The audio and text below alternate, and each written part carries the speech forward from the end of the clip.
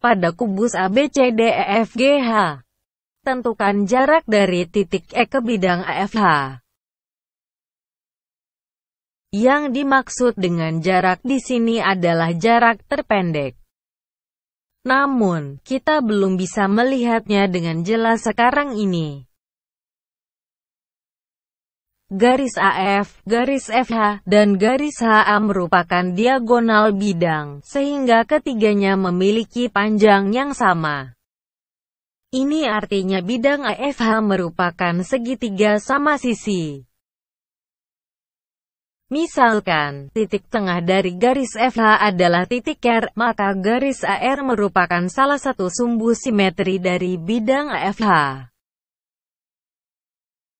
Selanjutnya, potong kubus mulai dari garis EG menuju garis AC. Ternyata proses ini memotong bidang AFH tepat pada sumbu simetri. Ini artinya jarak titik E menuju bidang AFH merupakan jarak terpendek dari titik E menuju garis AR. Jarak ini merupakan garis yang melalui titik E dan tegak lurus terhadap garis AR. Anggap saja garis ini memotong garis AR di titik S, maka panjang garis ES merupakan jarak terpendek dari titik E menuju bidang AFH.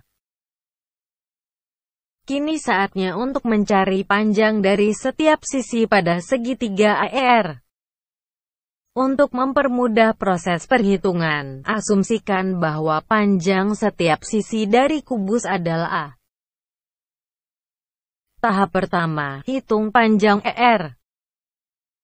Panjang ER adalah setengah dari panjang diagonal bidang EG. Sehingga panjang ER adalah setengah A akar 2.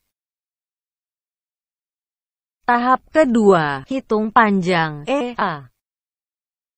Panjang EA merupakan panjang sisi dari kubus, nilainya adalah A. Tahap ketiga, hitung panjang AR. Segitiga AR memiliki sudut siku-siku di titik E. Menggunakan teorema Pitagoras, kita akan mendapatkan panjang AR adalah setengah A akar 6. Tahap terakhir, hitung panjang ES.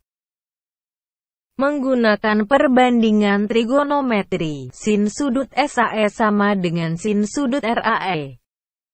Panjang ES dibagi panjang EA, sama dengan panjang ER dibagi panjang AR. Kita akan mendapatkan panjang ES adalah sepertiga A akar 3.